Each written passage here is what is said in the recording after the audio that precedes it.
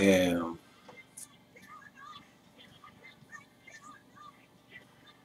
good morning to each one of you.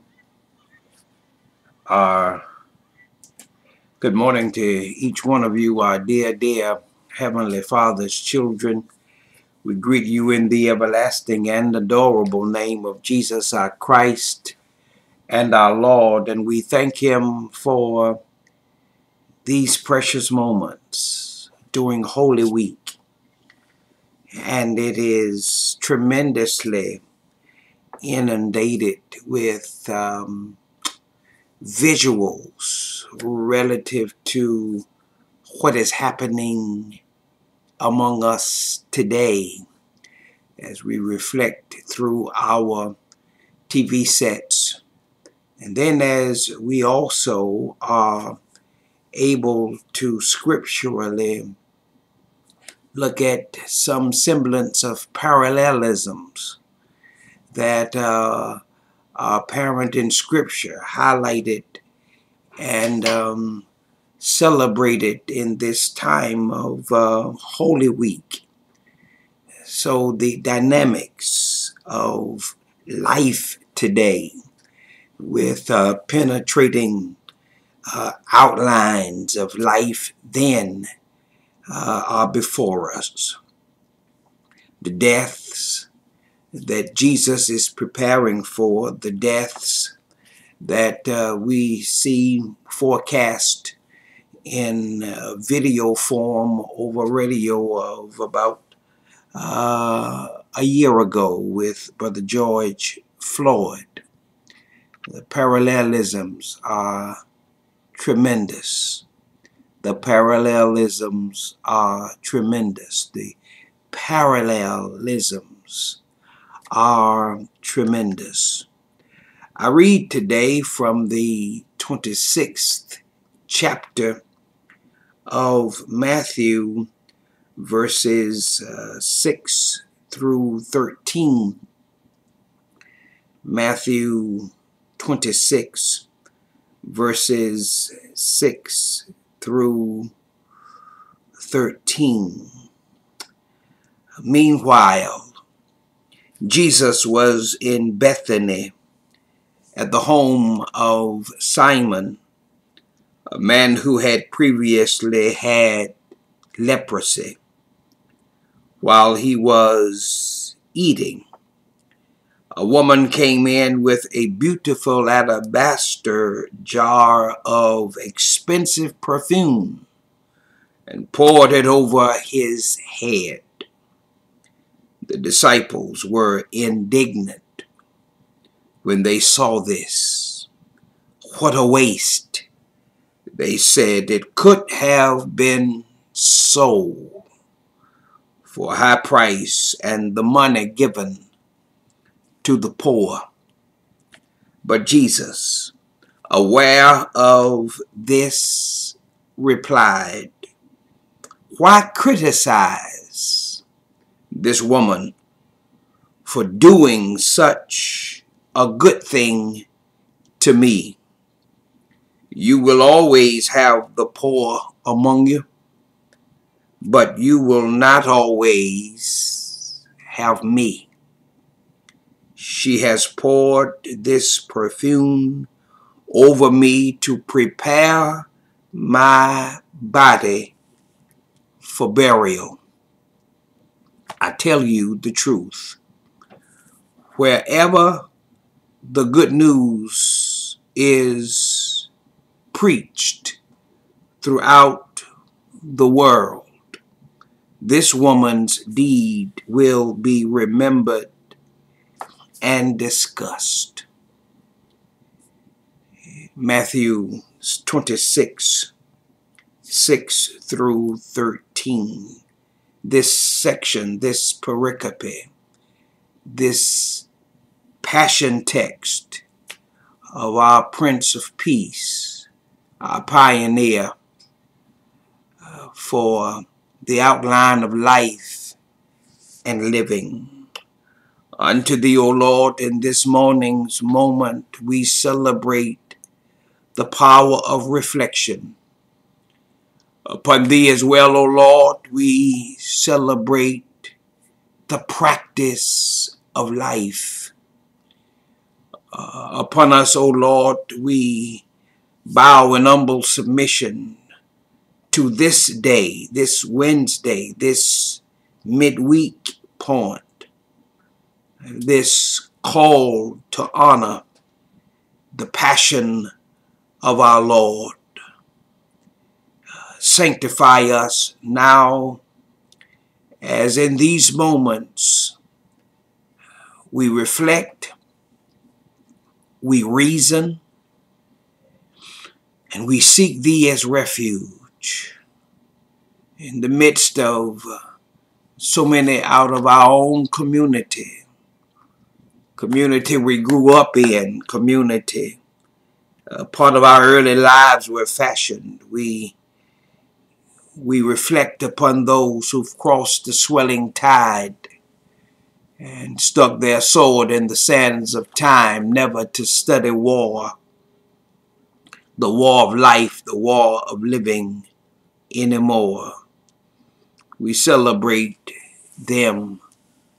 And we, oh Lord, in a sense, eh, see pictures of our own finitude being cast before us. And we in a sense draw nigh unto you knowing that you have drawn nigh unto us. Satisfy the substance of life and of living teach us how to number our days and how to apply our hearts unto wisdom that this trail that you blaze that we reflect upon that we celebrate will bring healing and great preparation to the affairs of our own day. Hear our prayer. Bless those who share upon this tremendous platform of interaction over these media refrains capturing words, deeds, reflections, and setting in place a posture of reverence and worship that we practice in our own, under our own vine and under our own fig tree. Speak thou now life unto us, that in these moments we're able to hear you, to see you, and to get a picture that shall aid and assist us in walking in the demonstration of the life you've given each one of us, ordered by you, sanctioned by you, and driven by you. In the name of thy Son Jesus, our Christ, our Lord, O oh Father, we pray. Amen and amen. I cannot get to verses 6 through 13 without first coming to this other indent, indenturing identification that our Lord personally uh, releases as part of uh, personal dealing with the passion that he is is engulfed in even now. When Jesus had finished saying all these things, that's the previous chapters, he said to his disciples, a very poignant personal moment, as you know, Passover begins in two days for us. Uh, upon our calendar, this is Wednesday. Jesus is going to the cross on Friday with our own calendars in mind and the seven sayings that he shall speak from the cross, uh, part of the highlight of those days. And we reach back into the eons of Exodus chapter uh, 14 and get a, a visual of um, Passover, how uh, the children of Israel who had been in bondage to those uh, of Egypt um, were released from their years of servitude. And in that whole episode of being set free uh, the arms of, of Moses utilized as the uh, appendages of deliverance that God Himself utilized, but God Himself did the releasing, provided the the release from bondage and uh, allow the children of Israel to leave their place of bondage, camp at a point of their pilgrimage, and then see the middle of the Red Sea, some 10,000 feet deep, become the passageway that uh, the children of Israel would arrive to the other side, on the other side of slavery, on the other side of serving the Egyptians, on the other side of God planning their release from those 400 years of their own sad saga. Uh, so in, as you know, Passover, Jesus says, begins in two days. What shall occur? Um, what, what, what what is it that uh, the three major religions of our day are highlighting during this period of life? Uh, in the midst as well of a pandemic where more than 530,000 have answered the call of life beyond the now life beyond the circumstances of this corona and its virus. Now find persons digging through the peril of the pandemic and seeking some semblance of life as known before. And we see here where Jesus faces such a penetrating um, effect, the turning point, or the turner, uh, a definitive one. Passover begins in two days, and the Son of Man will be handed over to be crucified. So this crucifixion, he talks about uh, himself gives forecast as as he's um, a spiritual meteorologist that stands upon uh, a platform in our own television systems. And we can see the penetrating effect of weather uh, preparing us for the kind of rainfall or the kind of respite from rain. Where the Son of God, in a sense, prepares his disciples of that day and of us.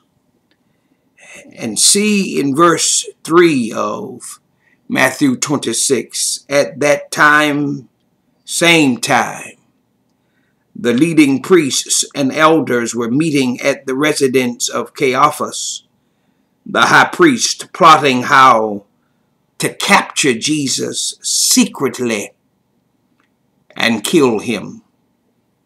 They not, but not the not of this text, but not during the Passover celebration. They agreed for the people may riot. The people may riot as I have viewed, like several of you, uh, portions of the video of a year ago when George Floyd um, answered the call of life beyond death in the embrace of of those who would in a sense be highlighted as those who take his life while he's crying out to his mother and the desire out of his torment I can't breathe. Such a picturesque view is graphically illustrated in the sense in the life of our Lord and reading this text, I'm led to wonder. Oh, and the defense uh, in the George Floyd case have tried to paint a picture uh, about the lifestyle of Brother Floyd. Well, I see in this text the lifestyle of Jesus is highlighted. Meanwhile, I'm in verse 6 now. Jesus was in Bethany at the home of Simon, a man who had previously had leprosy, a skin disease that uh, prohibited him from being around being around others in the neighborhood because of his skin disease, leprosy, skin disease, skin, skin disease, uh, a, a type of not like us phenomenon, another race, another nationality. Uh, those of African descent see in themselves a George Floyd, those of um, Asian descent see in real time another personage, another race, another nationality being honed in because of circumstances surrounding the coronavirus. And if uh, supposedly Wuhan, China has anything to do with what has been um, impacted upon the entire world. But yet, a description in verse 10 of Revelation 3 highlights that there is a time of testing that will come upon the whole world. The whole world. And the protection that God says that he can provide shall be the rescue forum uh, of sustaining in the midst uh, of the pandemic the effects of nationalities, of peoples all across the length and breadth of this world comes under the sway of this two-day announcement of Jesus about Passover. What shall we be passing from and passing into? There, there is a transition that many of us under the sound of my voice, in a sense, are tiptoeing through and noticing some, some, some inflection, some reflections, some affection from what is part of our times. Uh, but while in a house while at Bethany in the home of Simon, uh, he was eating. Jesus was eating. Jesus was in Simon's house, y'all. Jesus is in your house. We've been assigned, in a sense, to our homes during this pandemic. Um, that there is an assignment that, that, that comes to us upon the, the living, the yet living. Our homes have become such a penetrating place, even with what Simon the leper had in his own house. All of us got something that we are dealing with in our houses today. But Jesus, as he was with Simon, he's in our homes. He's with our husbands, our wives, our children, our grandchildren. While he was eating, a woman came in with a beautiful alabaster jar of expensive perfume and poured it over his head. This, this, this anointing time, this preparation period that um, Jesus was exposed to, to excavate in a sense, some semblance of Passover, of coming out of uh, the refuge of slavery, bringing God's children out of bondage, out for deliverance from their own houses, from their houses of caretaking under Pharaoh's sway to living in their mobile homes uh, and getting a, sense of liberty and freedom. Expensive perfume was placed upon Jesus, poured upon his head, a form of anointing, of preparation. My God, my God, my God. The dynamics of this Wednesday experience relative to Holy Week it's a justification of unholiness, uh, in a sense, being managed by the miracle worker himself. And the father of the miracle worker uh, celebrating a covering in the midst of such confusion, in the midst of captivity, and seeking to become freed as God is providing the forum of liberation. Jesus asked Moses, Why are you crying to me? And in a sense, the people had cried to Moses. Moses took the cries as leader of those he was leading back to God. And God said, I, I've given you empowerment for crying circumstances. He, he, he, he tells Moses to, to stretch out his rod. And all of us know something about that rod or that, that, that, that was given directly to,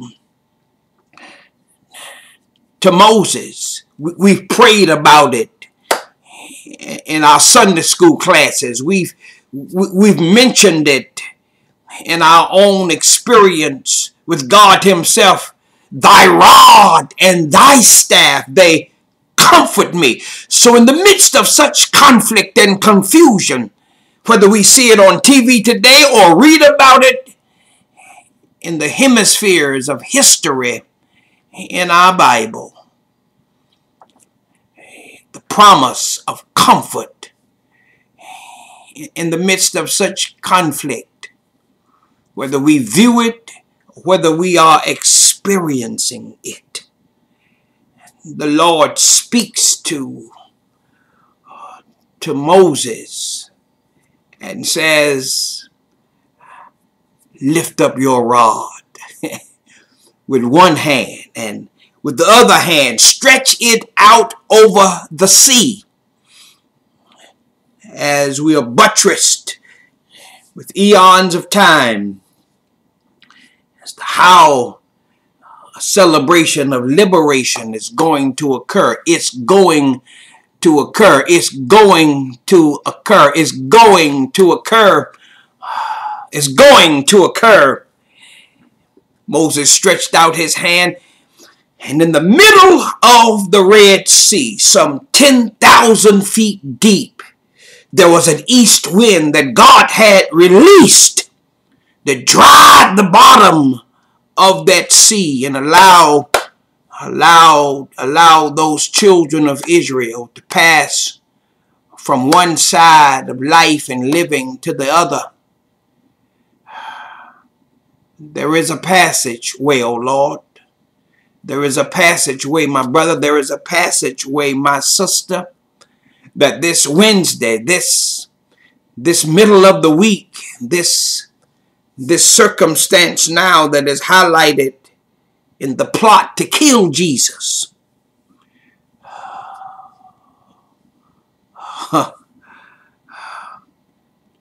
While he was eating, while you eat today, while you say your grace, price difference came in. Money, money, money, money in position came in. The question of it, we could have sold how much this oil is worth, and she's wasted it. and what some call expensive, other calls waste. Those dynamics are here highlighted as well What's precious to you may not be precious to somebody else. Your life even may not seem expensive or seem important to some, but to others. You're part of their house. And your house may not carry a definition like those who are of that house uh, are lifted up as part of that house. We could have sold it, could have sold what this oil wasted in the eyes of some, but directed by the eyes that really matter, the eyes of God over his son could have been given to the poor and Jesus is dying for the poor. Why criticize this woman for doing such a good thing to me? You will always have poor among you, but you will not always have me. She has poured this perfume on me to prepare. now this God's son to prepare my body for burial. And thank God, these reflections and these direct implications of Jesus himself, the Son of God, the propitiator of our sins. The propitiation is taking place, is ordering, is ordering new life and steps into life as heaven views it through pattern of the sun. Jesus says, I tell you the truth. Whenever or wherever the good news is preached throughout the world, this is part of it, y'all. This is part of that preachment. This woman's deed will be remembered and discussed. He anoints my head with oil. and my cup. Oh, my God. that which is at the bottom that catches the residue of my redemption, says Jesus, will be remembered and discussed. We celebrate this third day, this Holy Week experience. I've just tried to stay within the environment of 30 minutes, Monday, Tuesday, and today. So we come now to this point where the insulation for our lives and living um, under the uh, strength of medicine, of um, the vaccine for our virus that we're dealing with during this period of life and living. Jesus sat at table with his disciples and said, uh, uh, This is my body which is broken for you. This do in remembrance of me. And, he lifted bread which pointed to his own body. As he broke it, it speaks of the power of becoming our propitiation, our way through. our way through. Our other side life, other side of this, what we're dealing with now every last one of us, what we are dealing with right now, there's the other side to it. The insulation through this, through this covering. This bread is the New Testament. An example of those who, under the guise of such a testament, are able to arrive at the other side of this pandemic, of what we're going through in life, only because of the bread of life Himself that orchestrates these circumstances. Take, eat. This is my body, which is broken for you this do in remembrance of me. In the name of the Father, in the name of the Son, in the name of the Holy Ghost, such insulation. I, have had my two shots. I've, I've had my two shots, and um, along with my wife, along with my son, along with both sons, along with my daughter-in-law. We've had our two shots.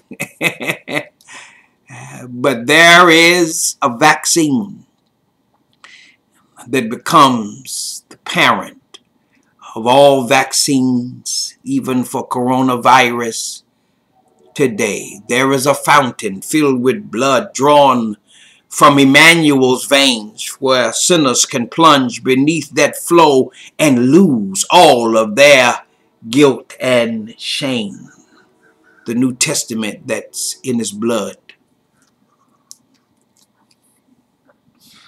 In the name of the Father, in the name of the Son, in the name of the Holy Ghost, wherein the, the bread becomes the insulation providing insulation for us. The fruit of the vine, his blood, becomes inspiration. It's in the highway system of our physical frames. Everywhere our veins and our arteries go, that blood is flowing from the crowns of our heads to the very sole of our feet. Bread and blood. Now, in these bodies that are going through some of the home life difficulties of this pandemic, and we celebrate such life that the sustainer, the giver, and the provider of such life has produced for us for these times. Now unto him that is able to keep us from falling and to present us faultless before the presence of his glory with exceeding glory in the midst of such gloom. Exceeding glory in the midst of such gloom. That's how we view it from up close and personal. We celebrate the power that sustains us and has sustained us in every eon of life and of living. Blessings be upon you and your family today, my brother, my sister, and we pray the power that is in God's hands will sustain you with what He's placed in your hands today.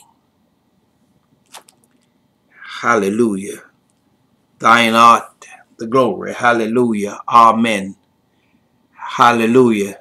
Thine is the glory revive us again.